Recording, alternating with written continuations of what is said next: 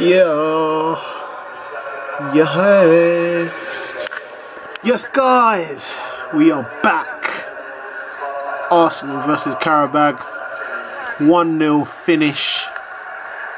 Yours truly. Microphone check. What's going on, guys? Obviously, I just thought I'd just give you my views. Oh, here it is. Here it is. There it is. Arsenal 1, Qarabag nil thoughts on the game. First and foremost, just at the end, Saka. Saka should have finished that ball, bro. I think he had too much time on the ball. You know, like you're in those chances as a player. You get the ball, you're like, ah, oh, if I get this ball, I'm going to put it here, I'm going to slot it there, blah, blah, blah. It's too much time to think. Sometimes it's best to just, well, not hit and hope, but just, do you know what I mean? Like, get the ball, put your head down, and just guess where the keeper's not going to go. Unfortunately, he did, he did guess the keeper did guess the right way and um, he got winded for it. But yeah, Saka's probably going to be kicking himself. But still, it was a great, it was a great performance for him. He's still 17. The guy is 17, guys, making me feel old. Who else? It was good to see Ozil back, and he looked, he looked sharp at times. Looked a lot more hungrier on the ball. So, oh, for the ball, just good link-up play. Be interesting um, to see whether he'll play against Southampton on Sunday. I'm, I'm gathering he will. Um, also, I think he would probably start as what Lacazette. Now, Lacazette, yeah. Let me sit down for this shit. Lacazette. The thing about Lacazette, this is why I like, and I keep saying this. I keep saying this. Like, if you see me in my Arsenal fan TV appearances, yeah, you'll see that with Lacazette, it's the thing where if you give him a chance, you give him an inch, yeah, you give him a little inch, this guy will punish you. Nightmare for a defender.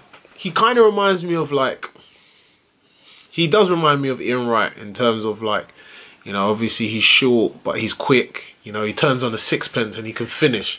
And the guy, the guy can finish, man. And it's there's been a number of times where he's been in that situation. Like he hasn't got much to play with, and he manages to squeeze out either a shot on target or a goal. So I'm happy with that.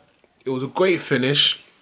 Um, can't remember who won the ball. I think it was Nketiah, I think, and then um, slotted it through to him and like he turned on the sixpence, but you could see he's already on the half turn. He was already on the half turn. He was already ready. He was prepared, and managed to just yeah, that's better. He shifted the ball to the right, and then um the defender. you know what I mean? It's just that split second as a defender.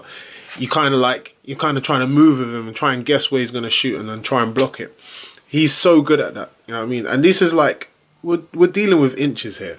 That's why I say he's so deadly. I call him like a threat. The man is like a threat, guys.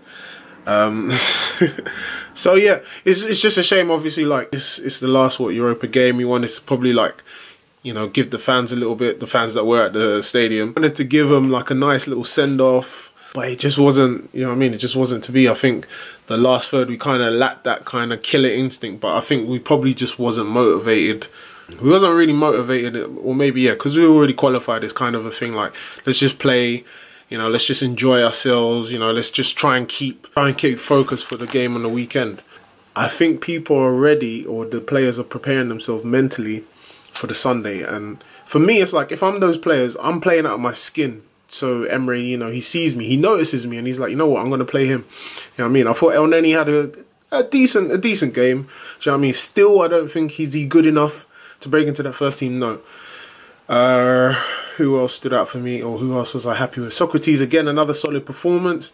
The fact that Holding is not there as well is, you know what I mean? Like, it's, it's a good thing that we've still got a good centre back. And then, speaking of centre backs, how can I not forget Big Kosh? Yeah, Big Laurent Koscielny is back.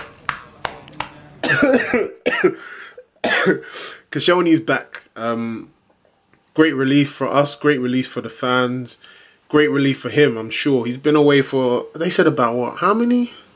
Minute, I can't even remember how many minutes they said like he's been away for, that he's missed. It's so good to see him back.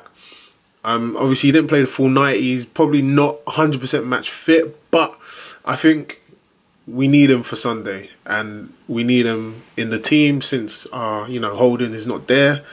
I think he's going to slot back nicely. It's just good to have that leader back, do you know what I mean? Leader in the pack so now we've got Monreal back, we've got Koscielny back, Bellerin, and then we'll have Sokratis probably sitting there at the back. So it's all right. It's still good. You know, I think in January, Emery's probably going to want to buy some players. So, hey, what can I say? It's 1-0. Like I said, Saka, he had that chance at the end. He fluffed it.